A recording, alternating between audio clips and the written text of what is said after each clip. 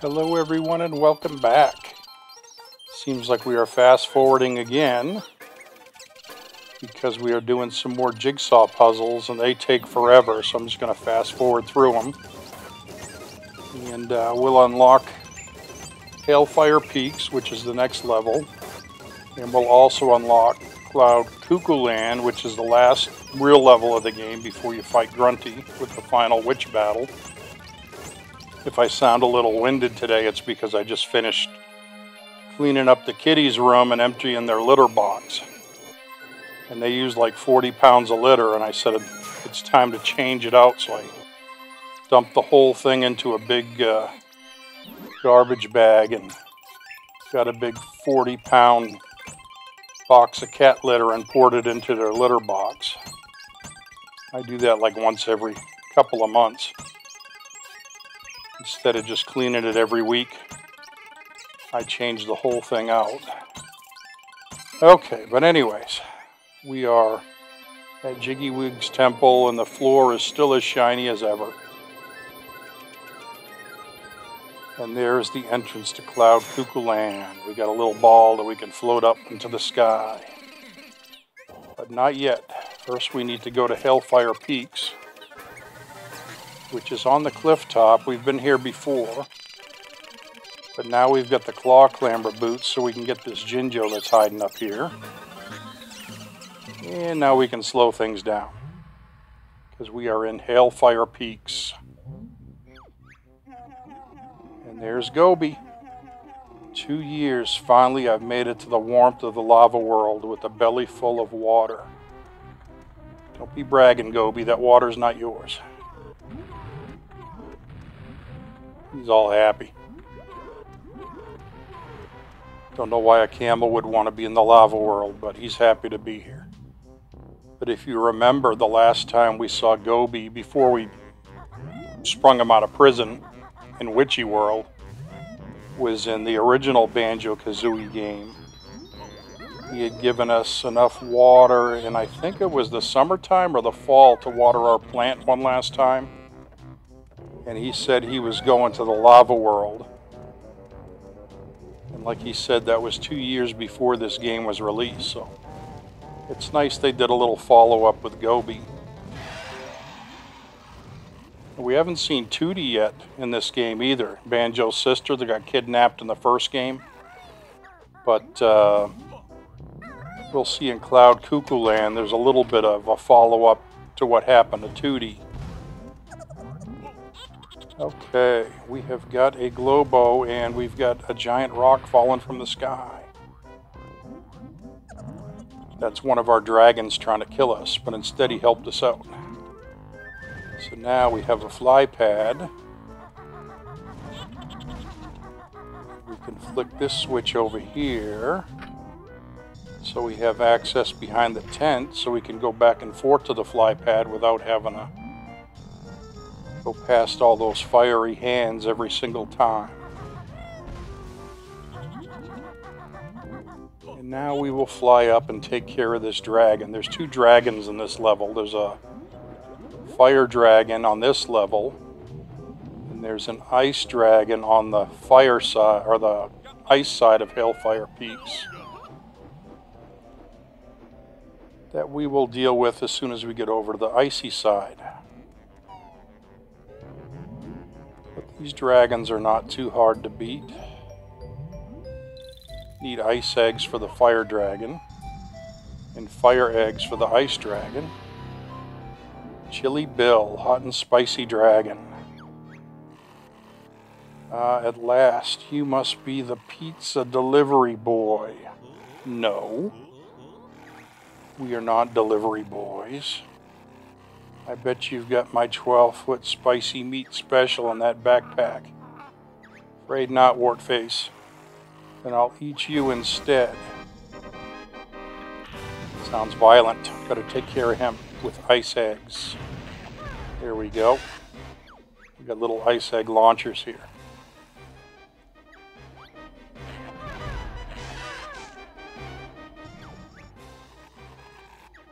soon have you licked. Got to jump over his tongue, which is easy to do if you get the timing right.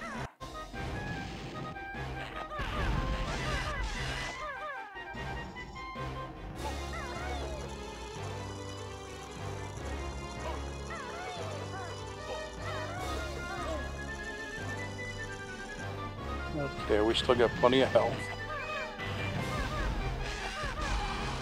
And he is done for.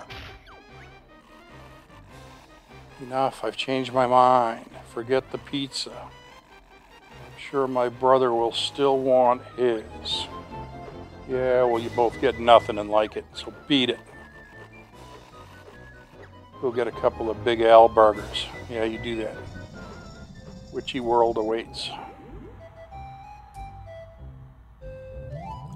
Okay, so we got absolutely no jiggy for that. Even though I had to run around and avoid death while being shot at by a ice dragon or fire dragon. Alright, there's the exit.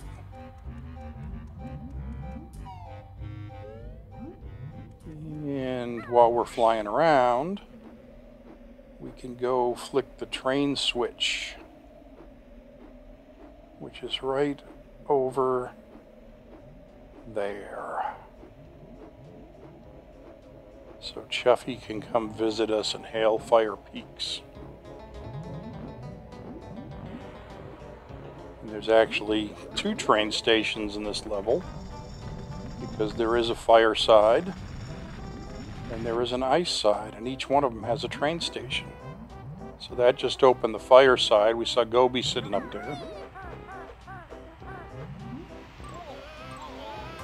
Oh, we're falling. That's all right.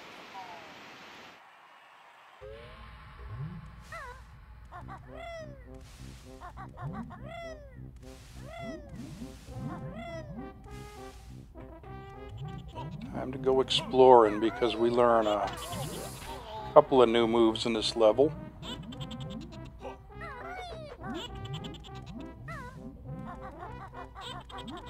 But we need to get up higher.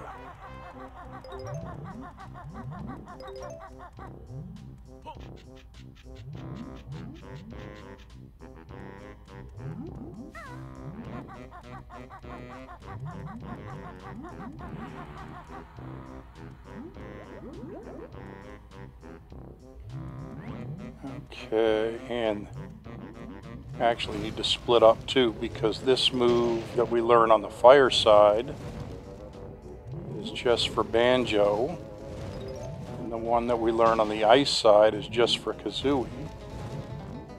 So even though I see Jam Jar sitting right there, I can't go visit him yet because I need to find a splitter pad.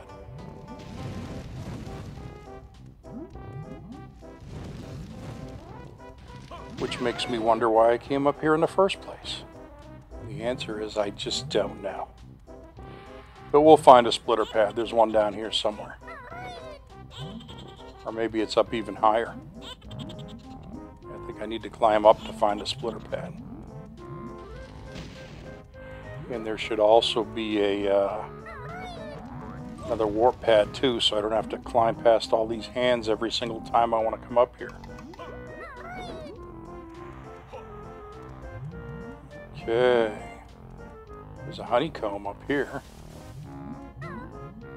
Fortunately, I've still got Kazooie with me. So I can go up and get this honeycomb. Look out for the enemy. I see enemies. There he is.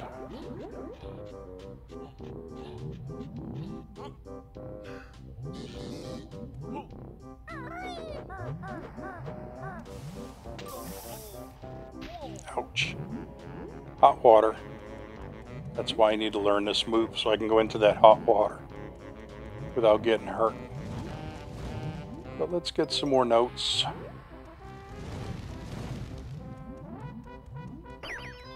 Okay, we got our warp pad. Grab this last note right here.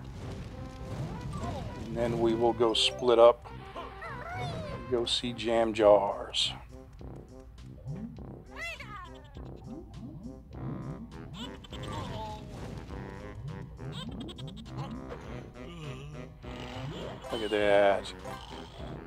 Snooze pack. Just take a little snooze anytime I feel like it.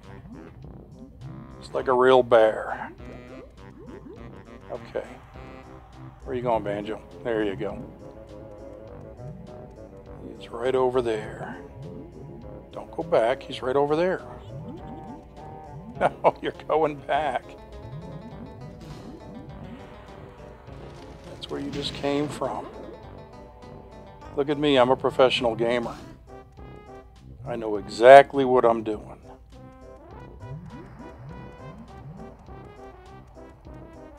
Just have to run around in circles every now and then to make it look challenging, but I know exactly what I'm doing.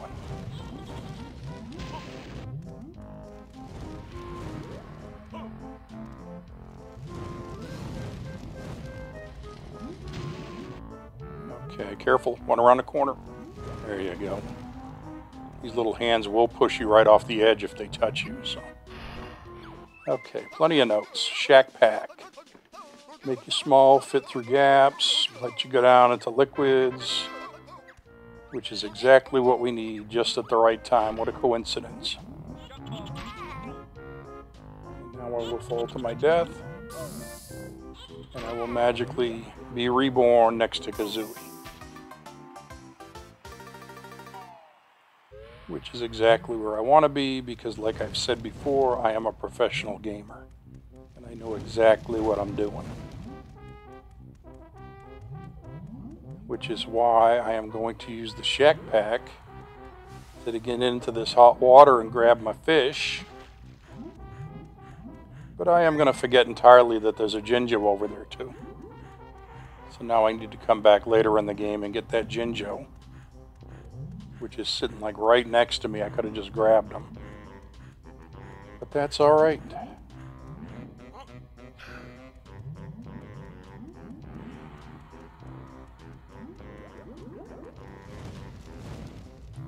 If anything, this shows that I just did not entirely map this game out 100% in advance. And that I am just kind of winging it figure out where everything is. And this area is kind of cool. It's got a little puzzle inside that you got to solve while toxic, toxic gas tries to kill you. Basically, you got to push each of these buttons in a row with a number on it. There's the Roman numeral for one. So in Jolly Roger's Lagoon, we learned the Greek alphabet. And now we are learning Roman numerals. Here's the Roman numeral for number two.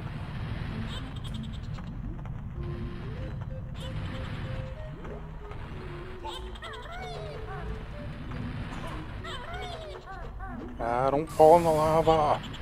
Don't fall in the lava.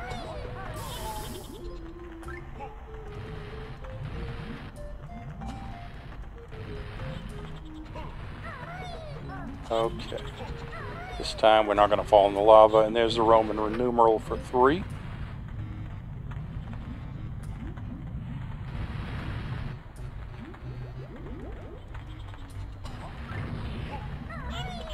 And over here's the Roman numeral for four, which is a one and a V.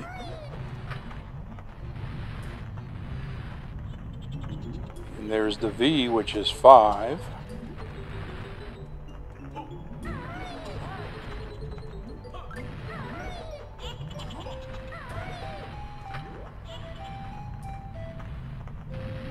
And if I was a Roman, I'd be saying, stop saying Roman numeral. They're just numerals.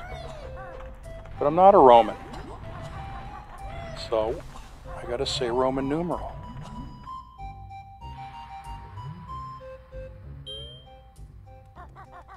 And of course, we know the best way to learn Roman numerals is to watch the Super Bowls. Because they use Roman numerals to show what number Super Bowl it is rather than just put the English or I'm sorry, the, uh, I guess it's Arabic letters. 50 and 51, they use Roman numerals. Just to keep everybody on their toes. Okay, you see that honeycomb over there? We're going to try to get it, and we're going to fail miserably, because I don't think there's any way to get it other than to go into uh, Icicle Grotto, which comes a little bit later but we're going to try anyways. And we failed. We're back at the beginning again.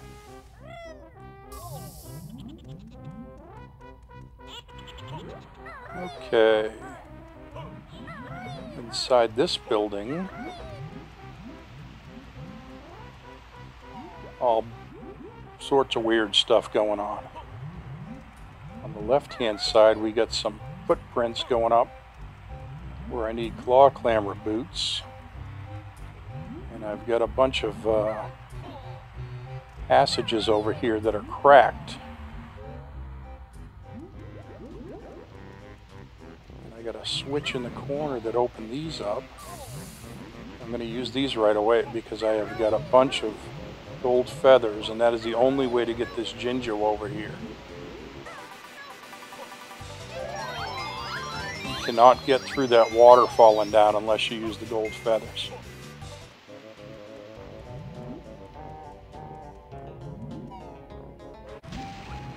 Okay, we need to use grenade eggs to open up all these passageways. And magically, we are back in Mayhem Temple.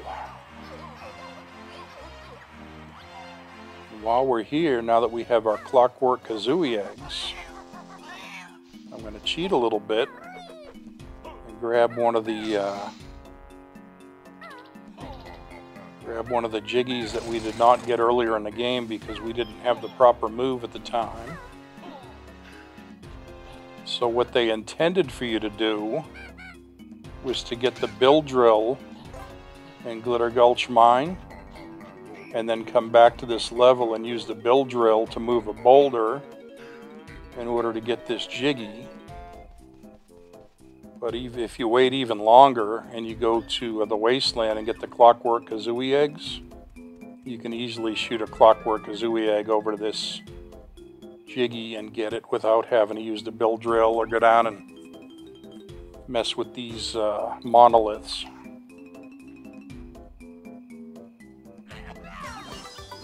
That, like a professional because what you're supposed to do is fly down in that area, break the boulder, and then you actually go underground, and each of those monoliths goes underground also into a cave, and you have to butt them with your head. Okay, we got everything from Mayhem Temple. Never have to come back here again. We don't want to exit the game. What are you doing, man? Resume game. There you go. Look like an idiot. Anyways, you uh, have to butt each monolith or column with your head, and that makes the jiggy move to a lower column, and then you butt the next column, and that makes the jiggy go even lower until it gets to the lowest one, and then you run out and grab it. But you know what? If you're that interested in what you're supposed to do, you can look it up on YouTube.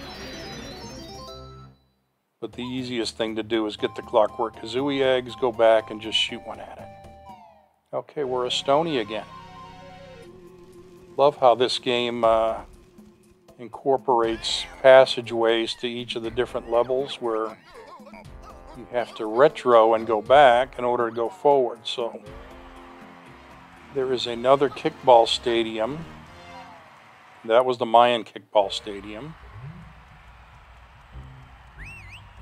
And this one's the Coliseum Kickball Stadium. And we're going to go talk to this Stony. Welcome to the Coliseum Professional Championships. We like to do things differently. The lowest score wins here. So, I have to avoid getting points. This first one I think starts with all red balls. We'll see. You have to shoot red balls into your net to lower your score. May the best Stony win. That would be me. No, it's not red balls. It's yellow balls. I need to shoot them to the other player's nets and avoid getting them in my net. How do I do that? Through sheer awesomeness.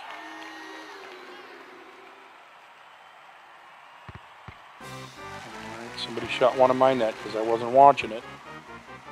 I gotta give this red guy some points because uh, everybody's got points except the red guy. Okay.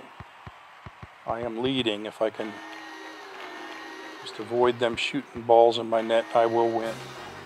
Save. Oh, they got another one in, but I got a big lead. I'm good to go.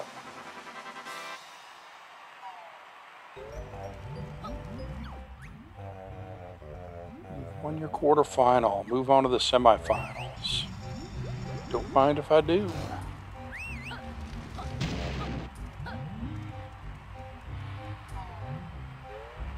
I think this is the one with the red ones where everybody starts with like 20 points and you have to, or 40 points and you have to score down. May the best Stony win. Yeah, we got 50 points actually. And if you shoot the red ones in, it takes points away. So that's how somebody gets the lowest score by shooting as many red balls into their net as possible. Somebody just shot a red ball in my net. Thank you. Don't know why you did that, but you helped me out. Okay, 40. Somebody's got 39. But now I've got 36.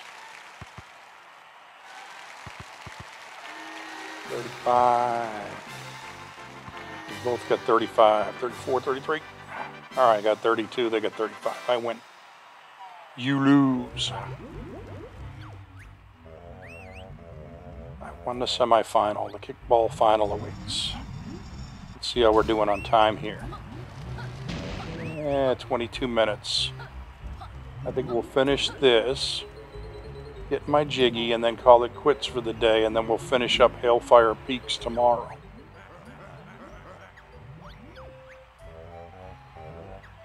The best Stony win. That would be me. Okay, here we start with zero. We need to shoot the yellow balls, not into the wall, Banjo, into their nets. Amazing I win any of these games. Alright, fortunately they're not shooting at me. But uh, we shoot the yellow ones into their nets to give them points. And the red ones into my net to take away points. Right now I'm losing. I got seven. The yellow ones get four. Now I got six. Now I got five. Let's give the yellow one some points. We are barely going to make it. All right. I win. So, I will take my Jiggy, and tomorrow we will fight the Ice Dragon, go visit Humba Wumba, get some help from Mumbo, and we will also run around like crazy trying to save a bunch of aliens. It is a very exciting conclusion to Hailfire Peaks. And I will see you next time. So you all have a good day. Bye-bye.